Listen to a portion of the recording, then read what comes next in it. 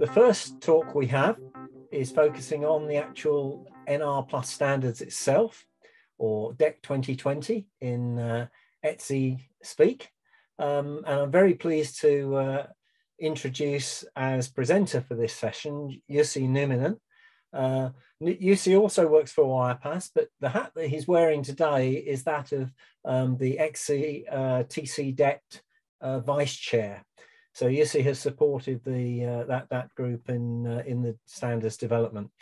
Jussi has 30 years experience developing wireless comms technologies and standards. Um, again, like uh, many many others, he's, he's had standardization roles in Nokia, ST Micro, ST Ericsson, and Ericsson as well. Um, Jussi joined Wirepas in 2015, responsible for radio strategy, uh, standards, regulations, IPRs, and uh, has, I guess, a pretty in-depth understanding of the DECT NR Plus standard. Uh, that's probably putting it mildly. So uh, without more ado, let me hand over to Jussi to uh, uh, introduce us to the standard. Thank you. Thanks, Walter, for, for introducing me. I hope that I have some, some information about the, the standard itself. So let me share my screen and then we get started. So yes, so yes, my, my presentation is now by boring technical topic, basically that uh, introducing you as, as the, what actually is the DECT, DECT 2020 and, and as, as, as a part of the IMT 2020 technology family acknowledged by, by ITU. So I will walk you through on the, on the, on the some, some uh, introduction topics about this, how this fits on the on this IMT 2020 technology triangle, and then some some couple of, of slides about the system architecture and, and basically topics which has been already addressed by a little bit by, by Teppo and, and will be probably addressed by the other speakers of this session.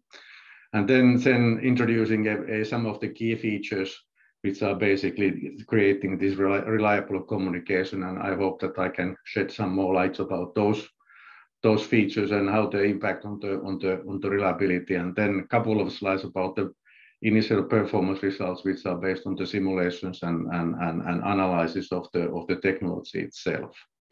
So I hope that I can fit on the time what is what is assigned to me, but that's an objective what I'm trying to trying to cover my presentation. So the first is this uh, this uh, DECT uh, 2020 new radio introduction as as that what has been a design goal for the for the TC DECT uh, for developing this one. So we wanted to create a, a technology which is which is has has a technical characteristics that it can be can be deployed by anybody and can operate uh, can be operated by anyone and, and then then also can be used anywhere of course, on providing that you are you operate on the on the on the allowed spectrum, and also that during the, the operation the, the operation must be simple, it should be autonomous, and it should be capable for coexisting with the other local networks, which we are envisioning that will be will be in the future the case in in, in many areas. And it should have a very good or excellent uh, capabilities for operating on the shared spectrum.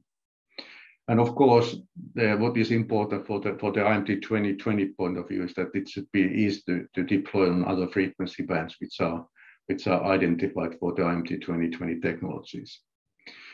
And, and the, second thing which is which is also very important on, the, on, on this one is that it should be an application agnostic. So we would not like to have any specific features down to the radio levels which are specific for certain use cases but it should be as agnostic and, and, and multi-purpose as possible. And, and then, then enabling that both the massing type of communication corners for the IMT 2020 requirement as well as the ultra reliable low latency corner of the requirements could be addressed on the same on the same technology. And the important thing, what, what I see as, as, as my my my my takeaway on this picture is basically that what we can do with the DECT 2020 is basically we can address on the same specification and standards, both on these corners on the on the on the triangle, whereas the 3GPP is basically the LT LT generation is able to address on this corner and the 5G is basically addressing on this corner of the two corners of the of the standards. So what this brings is basically that we with the same product fundamental design we can address two different important and interesting IoT uh, use case corners on the on, on the future digitalization.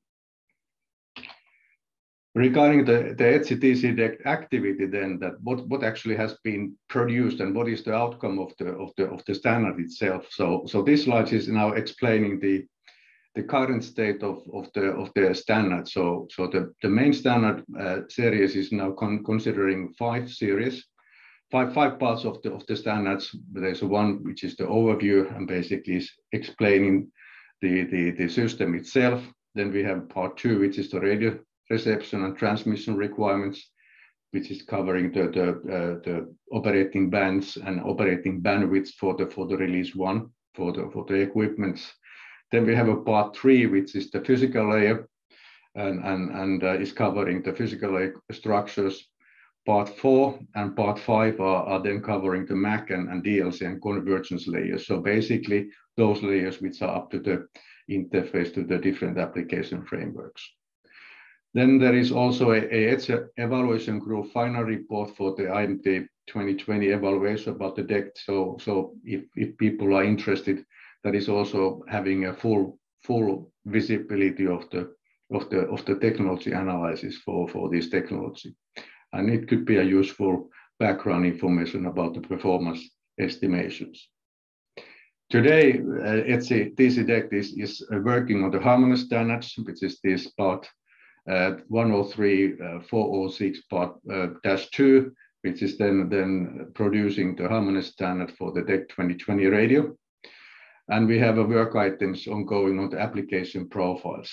And these application profiles basically means that, that we, are, we are defining that, as an example, the smart metering profiles, that the application itself is DLMS COSEM type of, of, protocols, but how should you uh, configure the radio such a manner that it should, you are you are op, uh, operating with optimal performance on, on with that application. And we would have a similar type of, of different applications, probably also on the PMSE industry as well as, as building automation and so forth. And this the idea is basically that as we have a, the best expertise of the radio itself, we want to ensure that that applications are taking the best benefits for the for the technology itself. And of course, we have now started the, the, the release two uh, enhancements for the for the standard. So there are a couple of, of, of improvements which have been, being proposed and, and, and the technical development for those ones will be continuing as we speak. Then a few words about the system architecture, which has been a bit referred earlier. So the basic idea is, is that that uh, that this system is, is designed such that we can we can support different type of of uh, deployment uh, uh scenarios and, and use cases. So basically, the mesh, what is the of course the the main interest for the Wirepas, and this is uh, designed for for the from the from the understanding that we can provide a local network, but also support a wide area deployment such as citywide networks, as, as we were showing on Teppo's presentation. Then, we can support also the, star topology, which is basically a subset for the, mesh topology. So you can basically understand that the, star topology is basically a one, cluster type of, use case where you are, having a, single link uh, connections to the, RDFTs on the system. And then as, the, last one is basically that, of course, you can support the point-to-point -point links between different equipments with this radio. And all these are, basically possible for the, for the same technology and, protocols what we have been developed. The state-of-art uh, coexistence uh, capability has been designed in, in, in, in light that, that, of course, we can coexist with the existing DECT and, and other, other radios when we are operating on the shared spectrum. But between two different DECT uh, 2020 networks, we have actually introduced a very advanced features which are allowing, allowing us to actually synchronize between two un uncoordinated networks transmissions on the same area if, if they, if they see, see a need for that. But basically the point is that standard is, is offering such an opportunity that you can actually do this type of, of very close and, and tight coordination between different, different networks if, if, if seen necessary. And, and this, this, is, this is really, I think, a powerful new feature what we can offer on this, on this technology. Then the, the, the design on the radio itself is symmetrical. So of, of course we have the same receiver and transmitter uh, access modes and this is simplifying the, the, the product design for the, for the equipments compared to the, as, as an example for the cellular uh, design where the uplink and downlink radio accesses are actually not, not symmetrical but different. And then, then on top of this, we have, we have these device-centric and decentralized decisions and, and which are enabling the autonomous operation for, for, the, for the networks. I will come back on this on, on the next slide a bit more. Then the, backend connectivity, basically, as was referred also in Teppo's presentation, we don't take any stand on that one. So that can be a wired, Ethernet type of connection if that is on, some, some local premises, or it can be any type of wireless connectivity, what is deemed necessary for such a, deployment. The basic idea on, the, on, this, system architecture is that, that we have all devices are equal to each other but they can they can adopt different roles. So so basically we have RDFT, which is the the entity which has a backend connection, and and then the other other equipments are basically seeking seeking connections to the RDFTs, and and we can have a, have a uh, devices which can have a double roles. They can have a RDFT, but but also RDPT roles, and these are basically the routing routing devices on the system and the, the roles of these these nodes can be can be autonomous. So they can actually based on the radio environment they're operating they can they can change their roles to to routing or non-routing routing devices as per need for such, such a such a deployment. Then a bit more on this decentralized autonomous operation itself so what does it mean in practice is that, that this, this radio access device autonomy is, is giving a, a benefit on that, that in, in the event that, as an example, that we have a, we lost the connectivity to the backend, so this FD is, is not able to operate or, or provide or transfer the traffic to the backend, then the equipment which has been connected to that one can reroute the, the connections to those, those those nodes which has a has a operating connectivity to the backend. And this is autonomous and can be happening uh, as uh, without any intervention from from external body.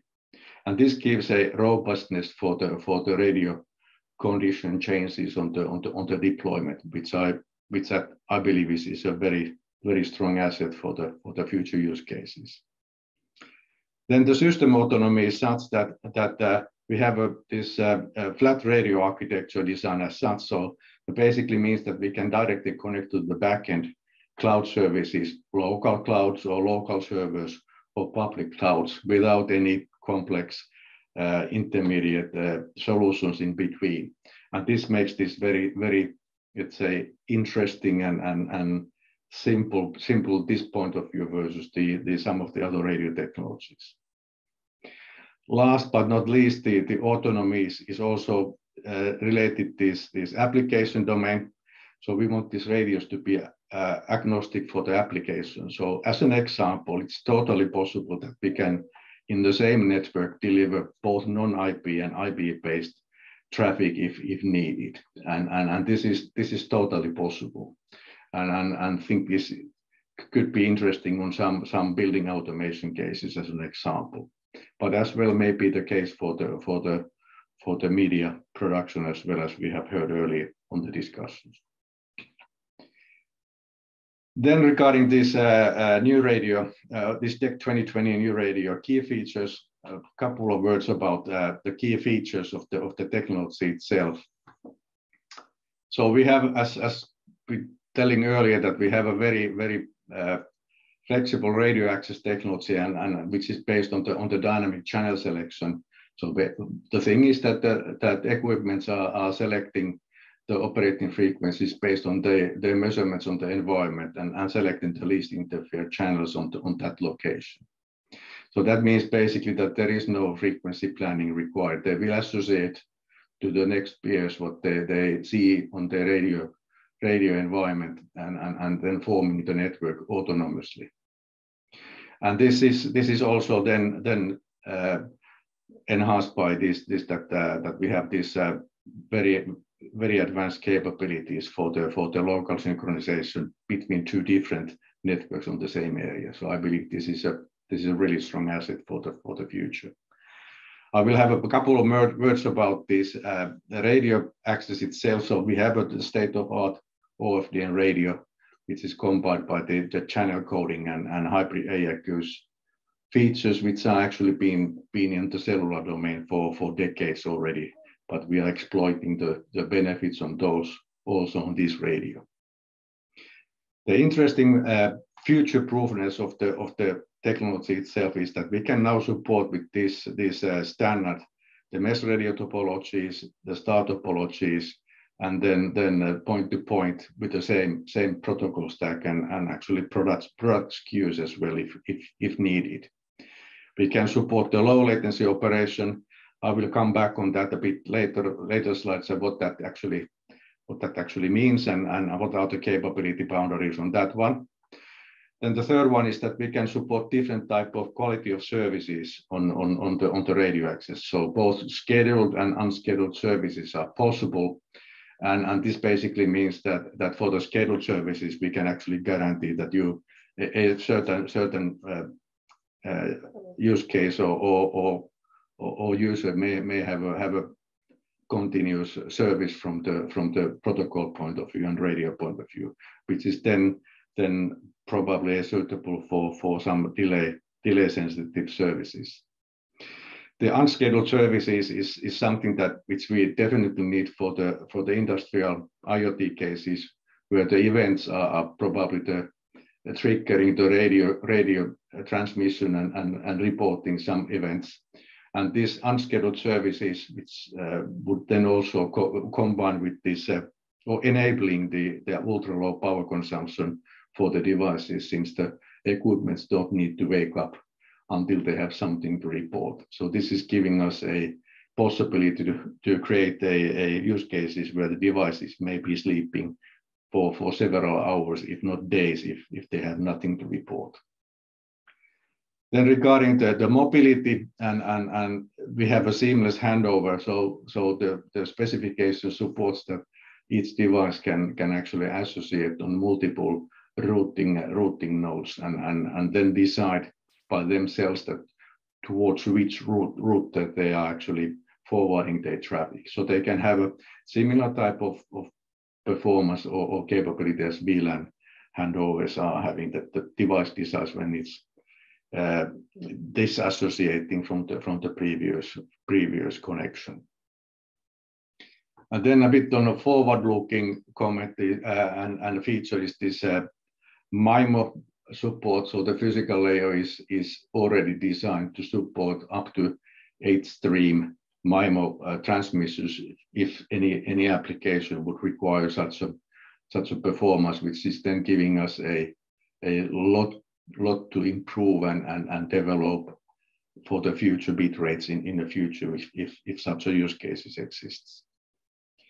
And up to date uh, uh, security. So this is AES-128, which is basically the same type of algorithms what we, the cellular systems are having on, on, their, on their side. A little bit you, more. You see, we've got about five minutes left. Uh, oh God, then I need to speed up.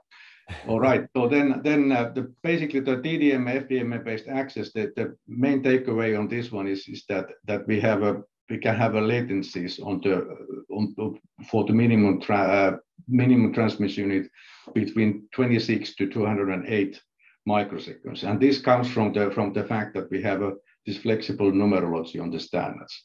But you can assume that, that there, is a, there is a future improvement and, and, and room for, for very low, low communication on the, on the system.